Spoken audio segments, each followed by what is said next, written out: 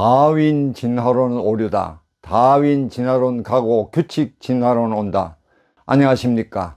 규칙 진화론을 집필 중인 저자 김광수입니다. 이번 시간은 자연 규칙의 불변성을 알아보겠습니다. 오늘의 주제와 관련하여 저의 글 하나를 소개합니다. 자연 규칙의 불변성에 대하여 9월의 어느 청명한 오후 인근 공원의 호숫가 벚나무 그늘 아래를 거닐고 있다. 미풍은 선선하고 다정하다. 물결 위에 반짝이는 햇빛, 수초와 갈대의 어울림, 나뭇가지와 잎들의 뜰림, 흘러가는 흰 구름과 푸른 하늘, 이 모든 현상과 움직임들이 함께 만든 쾌적함과 평온함이 나의 존재 앞에 펼쳐져 있다. 자연이 주는 이 쾌적함과 평온함, 나는 이 평온함의 정체를 알고 있다. 지난해에도 수년 전에도 젊었을 때도 느꼈던 이 평온함은 나를 담고 있는 우주 자연과 나의 마음이 함께 만드는 합작품이다. 지구적 환경은 우주적 환경 안에 있다. 만약 태양의 급격한 요동이 있다면 나의 존재는 폭풍 앞 지푸라기 신세가 될 것이다.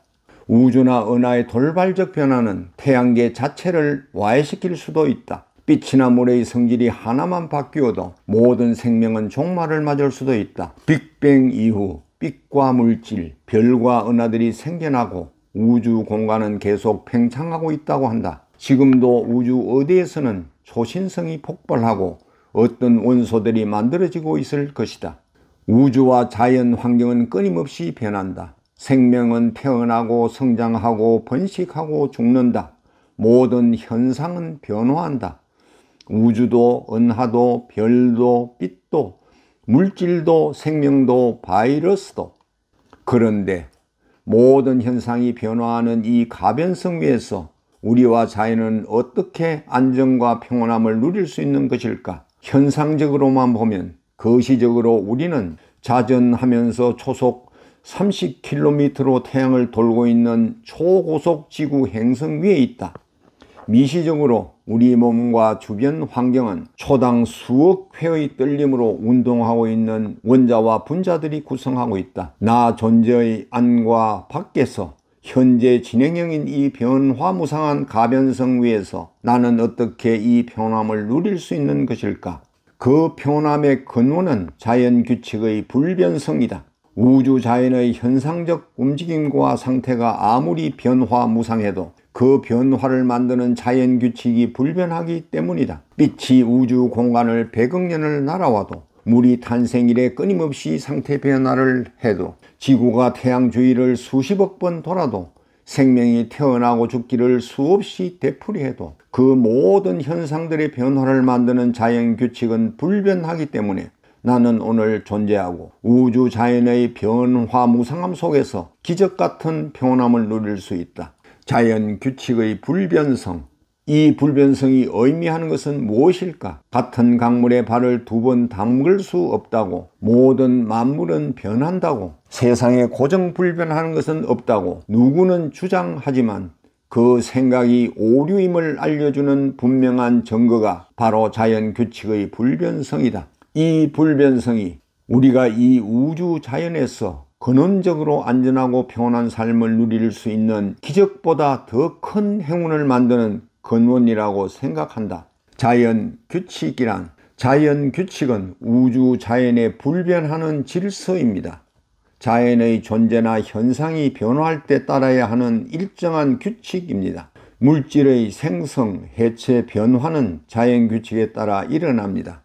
자연 규칙은 자연에 있는 모든 질서와 규칙을 통칭하는 이름입니다. 이들 중 보다 확실히 알게 된 것은 법칙으로 부르기도 합니다. 만류 인력 법칙, 중력 법칙, 에너지 보존 법칙, 열 전도의 법칙, 아보가드로의 법칙, 허블 법칙 등은 모두 자연 규칙입니다. 때로는 무슨 이론, 원리, 공식 등의 이름으로 불리지만 자연 규칙은 마찬가지입니다. 자연 규칙의 불변성. 자연 규칙은 불변합니다. 자연 현상은 끊임없이 변하지만 그 변화를 만드는 자연 규칙은 불변합니다. 우주 탄생 이후 어떤 자연 규칙도 새로 생기거나 없어지거나 변한 일은 없습니다. 사례를 볼까요? 빛이 직진 반사 굴절하는 규칙은 불변한다. 양전하와 음전하가 서로 당기는 규칙은 불변한다. 열이 높은 곳에서 낮은 곳으로 이동하는 규칙은 불변한다. 물이 액체, 기체, 고체로 상태 변화하는 규칙은 불변한다. 물체가 낙하하는 규칙은 불변한다. 원자가 만들어지고 작동하는 규칙은 불변한다. 분자가 만들어지고 작동하는 규칙은 불변한다. 세포가 만들어지고 활동하는 규칙은 불변한다. 아미노산과 단백질의 규칙은 불변한다. DNA와 유전자의 규칙은 불변한다. 생명체의 형질의 형성 규칙과 유전의 규칙은 불변한다. 광합성 시스템과 세포호흡 시스템의 작동 규칙은 불변한다. 물리, 화학 규칙은 불변한다. 생명 규칙은 불변한다. 자연 규칙은 불변한다.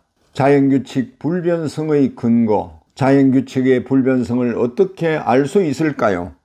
먼저 그 근거는 우주 역사에서 자연 규칙이 변한 일은 한 번도 없었다는 사실입니다. 이 내용을 바르게 말한다면 우리 인류는 우주와 지구 역사에서 자연 규칙의 불변성을 벗어난 사건을 하나도 알지 못한다고 해야 맞을 겁니다. 그런데 우리 인류가 알지 못한다는 사실만으로 어떻게 자연 규칙이 파괴되는 일이 긴 우주 역사에 없었다고 자신있게 말할 수 있을까요? 그 이유는 그만큼 자연 규칙의 불변성은 여러 관점에서 그 확실성이 아주 높기 때문입니다. 그 근거를 보겠습니다. 첫째 근거는 지금 현재 이 우주가 탄생부터 지금까지 100억 년 이상을 파멸되지 않고 이처럼 존재하고 있다는 사실입니다. 이 우주와 자연은 여러 자연 규칙에 따라 생성, 결합, 분리, 해체되는 변화와 운동을 끊임없이 반복하며 이어오고 있습니다. 만약 여러 자연 규칙 중 기본적인 규칙 어느 하나만 변해도 이 우주는 파국적 결과를 맞을 수 있습니다. 원자의 생성 해체와 관련되는 여러 규칙 중 어느 하나가 바뀌어도 원자들이 해체되거나 변화된다면 기존 우주의 물질 세계는 그야말로 혼돈의 아수라장이 될 겁니다. 그런 사건이 없었기에 지금의 이 우주는 변화 속에서 이처럼 안정을 유지할 수 있는 것입니다. 여기서 우리가 쉽게 생각하는 점은 자연 규칙에 따른 변화와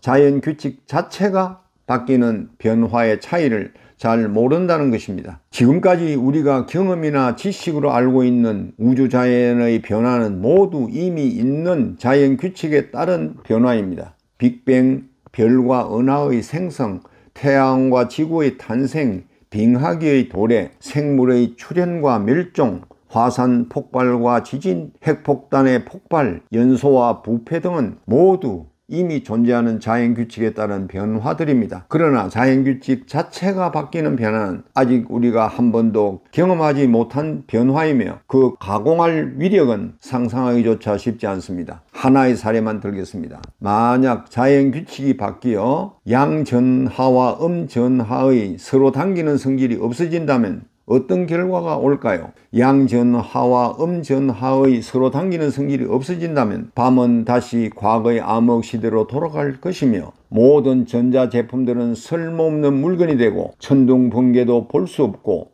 모든 전동차들은 멈춰 서버릴 겁니다. 그런데 이 정도는 순진한 상상입니다. 실제 그런 상황이 벌어진다면 우리가 어떤 생각을 하기도 전에 우리 두뇌는 작동불능 상태가 되어 버릴 겁니다. 그 순간 이 우주와 자연의 모든 원자, 분자가 해체되면서 모든 물질과 생명체가 파괴되어 버리는 빅뱅 직후와 같은 혼돈적 상황, 그 상황이 어떠할지 상상이 되십니까? 둘째 근거를 보겠습니다. 만약 자연규칙이 물질처럼 변화하는 가변적 성질을 갖는다면 어떻게 될까요? 자연 규칙이 물질처럼 주변 환경에 영향을 받는다면 수많은 자연 규칙 중 어떤 자연 규칙 하나가 변한다면 이는 주변의 다른 자연 규칙의 변화를 일으키고 연쇄적으로 다른 규칙들의 변화를 불러와 이 우주는 파국적 결과를 맞게 될 겁니다. 따라서 이 우주와 자연이 탄생 이후 지금까지 파국적 결과를 맞지 않고 유지 존속되고 있다는 이 사실 자체가 그 불변성을 증가하는 강력한 근거입니다. 그런데 자연 규칙이 수정되는 것처럼 보이는 경우가 있습니다. 어쩌다 언론에 어떤 자연 규칙이 수정된다는 기사가